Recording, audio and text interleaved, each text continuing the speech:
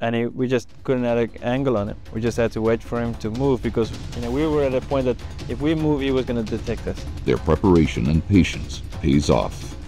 The rhino finally starts to move out of the thick brush, but instead of going forward, he comes right toward them, hunter and hunted, eye to eye, less than six yards away. He started feeding and he started feeding straight towards us. So we were sitting tight, hoping until the last minute that he would give us a broadside shot. And I actually took one of my bullets and threw it to distract him to turn so we can get a broadside shot on it. But he just lifted his head and just came straight. Only because of Nadi's quick thinking, and that was he able to spook the bull. And the bull run short ways, confused because we were on our hands and knees and he couldn't figure out what we were. For a North American bow hunter who has ever been yards away from an enraged bull elk, imagine being six paces away from three tons of unstoppable rhinoceros. And when he was six yards away, I mean, there was no point we had to do something, so I just got up to let him know we're there and he can turn off. And we almost got a shot then because he just he didn't know what was happening. He never knew we were there. And he just took off for about 10 yards and stopped. I, I, I remember I was shaking after that close encounter, and now I thought, can I get this 90 pounds back now? And can I pick that small spot that I got to find on that great big body? 6,000 pounds. It's like a garage standing, a Volkswagen bus standing in front of you, but you're looking at a vital area that's only the size of a football. Nadi feels the white rhino is the most difficult African animal to kill with a bow and arrow. With its one inch thick skin, the rhino resembles an armored vehicle. His ribs are approximately one inch by two inches and close together, making penetration extremely difficult. Well, I think it's more, um, you have to have the perfect broadside angle because there's no way on the rhino, the, if you're getting hit him 90 degrees, I think you're going to get the best penetration. Gary is ready with his 90 pound Hoyt Deviator bow. The rhino is about 30 yards away. The specially prepared Easton AC 371 arrow, tipped with a two blade Thunderhead broadhead, is well aimed and true to the spot. Well, the arrow was well placed and we had good penetration. After six exhausting days, their patience was rewarded. The rhino was struck by a perfectly placed arrow. Right now, I'm a bundle of nerves. Fortunately, it doesn't take long for the team to track the rhino down. Gary is not without emotions. The six days have been extremely difficult, both mentally and physically. Such a good guy. Even now, with his first success, he has concerns for those who would question his taking of such a magnificent animal. The concept that hunting provides protection is difficult for some hunters to fully understand. You've invaded his world. You got within his inner circle and you did everything correct. And you harvested a magnificent animal. In his heart, Gary knows that the taking of the old bull is an important part of wildlife conservation and the preservation of the white rhino. The fact that we were allowed to is because the white rhino is not endangered. There are plenty of animals. Uh, the animals are available by permit only and by CITES permit. In the bush, it takes six men to skin the giant rhino, who in his prime could eat over 150 pounds of grass and vegetation a day. The black rhino is the animal that is near extinction. That's the animal that's being sought for its horn. Its numbers are dwindling, and it's because very little's being done by our society to preserve it. Today in South Africa and elsewhere, man is encroaching on the wild animal's habitat, pushing them deeper into the bush. And ready for the inevitable shot. Realizing that he was facing a four to 500 pound male lion, capable of taking down a 2,000 pound Cape buffalo, of tearing his prey apart with a swipe of his claws, or crushing a man with a single bite. Yeah, He knew we were there, but he was deciding should he give up. But he knew the minute he will leave, those vultures are going to come and take his impala kill. The passing minutes seem like hours. After leaving the kill twice, the lion finally returns and presents the perfect shot opportunity. Gary sends the arrow perfectly towards the king of the jungle. The arrow hits with such force that it passes right through the lion. He leaped in the air. He ran about 50 to 70 yards and he was down. But what was, what was really amazing is after about 10 yards, you could already see he was lo losing blood, pressure simply because his back end was starting to sway. And he made another 50, 70 yards and he was down. I was amazed. Um, at the, even the blacks, my trackers, the first day we went out and we only had bows, they weren't too concerned until they found out that Gary had no other rifle. That's The only thing he had was a bow. and um, they weren't convinced until the lion. And after the lion, they didn't care whatever comes in front, they knew the bow could do it. Congratulations. Thank you, Hans. Holy God. Back in camp, the natives fully realize the power of the bow as they each try to draw the bow.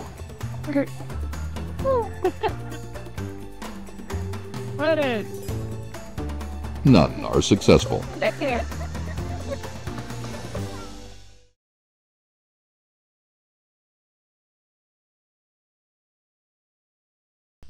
Such is the case with the leopard.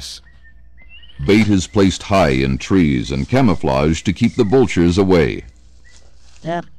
Blinds are built, and the waiting game begins. Well, with the leopard, um, as with the lion, we chose that time of the year um, because it's hard for the cats to make their kills. So generally, during July in the Selous Game Reserve, um, that's the optimum time to get the cats on bait because they really are hungry. The distance, as well as the fact that it will be turning dark soon, will pose challenges to Gary's bow hunting expertise. The leopard was an animal that I had been really concerned about. He's fast, he's cagey. Leopards are usually hunted at night with lights. But in Tanzania, Gary has to hunt in daylight. Late that afternoon, a leopard surprises them with an almost unheard of early appearance. The leopard hunts mostly during the night and has well developed senses of smell, sight, and hearing. I normally would put a blind maybe 50 yards from the bait with a rifle because it just gives you that much more chance that the leopard's not going to detect you. But this is no ordinary hunt. Now with the bow, you know, we had to get him within 30 yards or closer. So that's just another thing that made it mu- much more difficult. And the difference between 30 yards and 50 yards it sounds like, you know, only 20 yards, but that 20 yards is absolutely crucial. Gary is having difficulty controlling his shakes and is worried that the leopard will hear him. He realizes that the slightest movement or sound from him or any team member will jeopardize the entire operation. The dangerous part about leopard hunting is it's a very small target. You're sitting in the blind for hours. All of a sudden, it's like a ghost. You open your eyes and the leopard is there.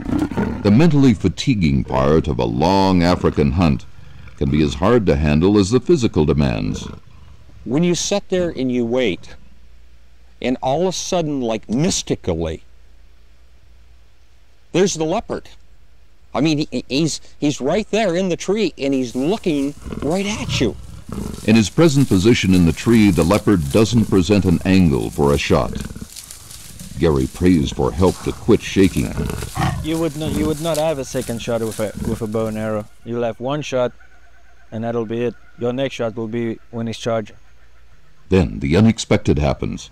The piece of meat which the leopard has taken from the bait drops to the ground. If he decides to go after it, he will come too close to the blind, which increases the chances of being exposed. But again, luck is in their favor. Instead of going down, the cat returns to the bait. The blind we used had a screen in front of it designed to be shot through it. You know, that helps that the animal can't see you inside the blind if you should move. Um, I wasn't worried about it before until at the time that the leopard actually appeared. And then that screen almost, you know, looked double as thick as it was. Um, but, you know, we had no choice. If we had movement at that time, the leopard would be gone. So we decided to go ahead and um, Gary shot through it and it worked perfect. Bogner's perfectly tuned hunting gear proves its worth. The Easton arrow goes straight through the leopard and into the tree. I put the pin right on the shoulders and I never hesitated and I let release the arrow. And the arrow went right through the mosquito netting and right through the leopard. You know, the was fun part was we watched him for 30 minutes before we made a shot at him. We had to wait again for him to stop moving, you know, present himself perfectly. Whereas with a rifle, maybe after four or five minutes we could have shot. Noddy has had much experience with wounded leopards. He and Paddy have their 12 gauge shotguns loaded and at the ready. If a leopard is wounded, he'll go to stuff that's as thick as possible that he can find. And secondly, his speed. I mean, the speed of a leopard charging is just unbelievable. There's nothing like the speed of a leopard charging. The leopard went less than 30 yards before expiring in the heaviest brush it could find. Afterwards, Gary had a chance to reflect on his emotions. It's like smoke, and he was there. Again, your heartbeat goes from here to here. You got your leopard. After 21 days in the bush, the team has had a roller coaster ride of emotions, and the quest is only half finished. They have yet to conquer the Cape buffalo, hippo, and elephant. All big, all dangerous.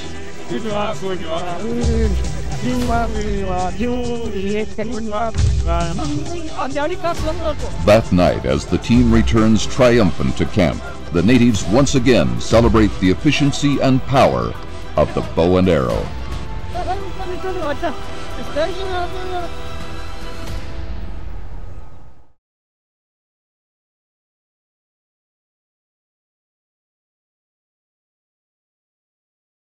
You know, and that's the other thing about bow hunting. With a rifle, shoot it in charge, you and your client will fire.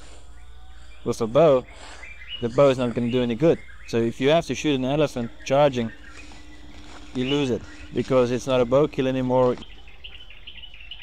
Because of the position of the vital organs of the elephant, the best shot placement would be just behind the front leg and above center. The elephant's skin is not as thick as the rhino and hangs very loose over oval-shaped, wide-spaced ribs. A lot of times when you hunt elephant, um, especially if there's a couple of them, you might have to get very close to some of them in order to get a shot at the one you want. And that's just that much more difficult with the bow because you have to get that much more closer. Keeping this in mind, they gradually move down the river and try to position themselves for a possible shot when the animals cross the sandy riverbed. We watched them for a long time before one finally presented that right opportunity. Noddy has gotten them within the deadly inner circle, into the elephant's personal space. If the animal is alert, I would not shoot him. I'll wait until he's calm, until he's feeding, and then shoot him. Because I think um, just his reaction, if he doesn't expect it, he won't go far. Because he, you know he doesn't know what happens. Whereas if he's alert and he's expecting something, as soon as the arrow hits him, he's going to take off. It takes all of Gary's strength to draw the 90-pound bow. The months of strenuous physical training pays off as he takes careful aim at a mass the size of a truck. I looked at that elephant. I remember when I pulled the bow up and I put, I tried to put the sight, and there was elephant all around the sight, all the way around it. And I said, "Where do I? Where's the right spot?" The arrow is away, well placed, and totally disappears into the massive chest. He came right straight to us. Um, he didn't really know where we were. And we just stood as long as we could. And I, you know, sometimes that's one thing with bow hunting. You wait longer than you would normally with a rifle hunter. When the arrow struck the elephant, he, he never knew what happened. He probably thought it was mosquito bit him. The just run. a li- just a little short distance is all. The 10,000 pound bull elephant turns just before reaching the group. And luckily he turned, and you know it was about 15 yards when he finally turned, and then he didn't run far. Uh, we followed him up, and he, you know, he was getting sick, and he didn't know what, what was happening with him. Again, fate would deal a blow to the party. Darkness settled in, and the elephant herd moved into very thick brush and surrounded the dying bull. Noddy and the government game scout agreed it is a very dangerous situation that requires waiting for morning light to retrieve the bull elephant. Rising before dawn and ready to go at first light, the team begins tracking through thick brush. After a difficult search, they find that the old bull elephant had expired during the night and was now partially destroyed by scores of hyenas and vultures. Nature once again shows her way. Upon examining the animal, they found that the arrow had passed almost completely through the elephant, erasing any doubts that the bow and arrow lacked the penetrating power needed to take an animal of this size. A recent vote by CITES, the UN Wildlife Convention, recognized the fact that elephant populations vary from country to country. In some areas, oversized elephant herds are destroying natural vegetation, forests, and crops, and threaten the lives of rural peasants. Hunting is now regarded as one of the best ways to control the overpopulation of elephant herds. If you approach them, especially sometimes you approach them without knowing it, and they'll charge without thinking about it. I mean, so they have a very aggressive nature. Gary is well aware of the aggressive nature of the hippo, who stands five feet at the shoulders and can weigh over 4,000 pounds. All it takes is one bite. I found the hippo to be extremely challenging. Very, uh, when you talk about tusks this big around and they come together in a slicing action like this, one bite and he's going to bite you in two. He's quick on his feet, very quick. Uh, he's got a good nose. Uh, we had a number of close encounters.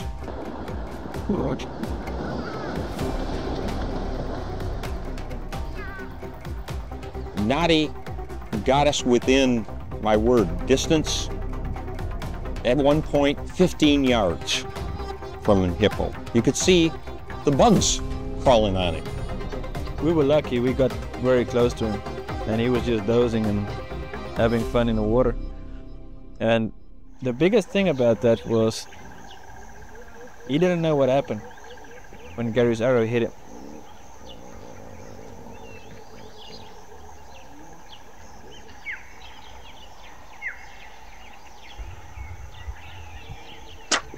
And he was looking at us, but he wasn't sure. He didn't think we were people. I mean, at that point, something struck him, and he just wasn't sure what happened. That's why you would see Gary just frozen. I just told him not to move, um, because at that point, should you move, you know, and he would he would actually see that it's a human. There's no doubt he'll charge. I dropped and held my breath. And at one time he was spitting uh, water and snorting, and I thought he was coming. And he looked around and didn't see anything, I guess. And he turned and just started walking and then trotted a little bit. And he trotted off not very far and expired.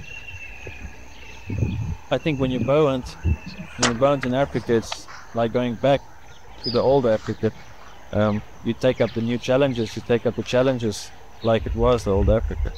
And it just makes everything that much more difficult, that much more challenging.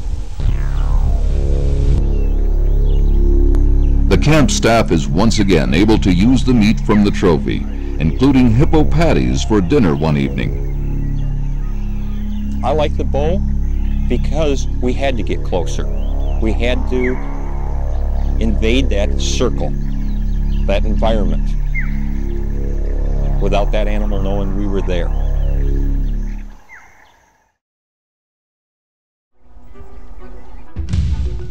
Well, that's the thing about the buffalo. All his senses is good. You know, the rhino can't see well, but he can hear and smell well. The buffalo has got everything. And he's got the character to go with that. Once he's hurt, he's not in a good mood. Buffalo have a reputation for being one of the most dangerous of the African species to hunt. When wounded, they've been known to circle and stalk their hunters, lying alert in the bush and charging forward at close range without warning to gore, stomp, and crush to death the hunter. The risks are multiplied when bow hunting. We got into, there was a lot of mud and water, but we, I don't care if there was crocodile. Nothing was going to stop us from getting those buffalo. We went through that and we got close enough to them that uh, Gary could finally place a good arrow in the buffalo. Naughty and Gary begin the stalk across the marsh, not knowing what lies beneath the surface of the water. We started out to the edge of the marsh and we had to figure out how are we going to get out across this marsh uh, and through this water. And Naughty never hesitated. He says, we're going out across there. And I looked at it and I thought, there could be crocodile. Uncertainty and fatigue are setting in, but Gary pushes on, encouraged by Naughty. We went through that and we got close enough to them that uh, Gary could finally place a good arrow in the buffalo. Gary's heart rate is over 140 beats per minute. I can remember my heart was racing. I can remember I was even shaking. And it took everything within me to get that pin to hold still long enough on the right spot before I release the arrow. Driven hard and fast by the Hoyt bow, the Easton ACC arrow reaches its mark, and the buffalo reacts immediately, running off into the thick brush. Knowing how dangerous a wounded buffalo is, they wait, as all bow hunters should, before following the buffalo's track. The native trackers are quick to pick up the buffalo's spoor. The fall of the buffalo is the final chapter in the team's adventure and Gary's lifelong dream. Very, very much. Once again, the harvested meat will be consumed by the camp.